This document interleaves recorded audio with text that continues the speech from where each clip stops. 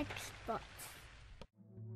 What's up, this is Ricardo, and in this video I'll show you how to remove the wireless card from a Dell Precision 15 version 5510. If you're looking for parts for this laptop, go to our website and use this coupon for a 5% off discount. First remove screws from bottom base and underneath the badge door.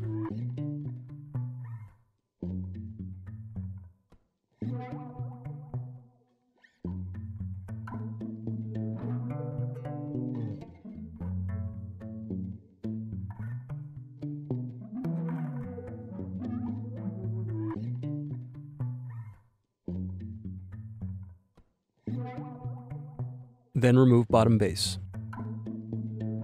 Next, unplug battery cable. Next, unscrew and remove wireless bracket. Then unplug antenna cables and remove wireless card. Need more? Check out these other tutorials. For batteries, click here. For hard drives, click here. For wireless cards, click here. Thanks for watching. If you enjoyed this tutorial, give this video a like and subscribe to our YouTube channel. Check the video description below for links to written tutorials and replacement parts.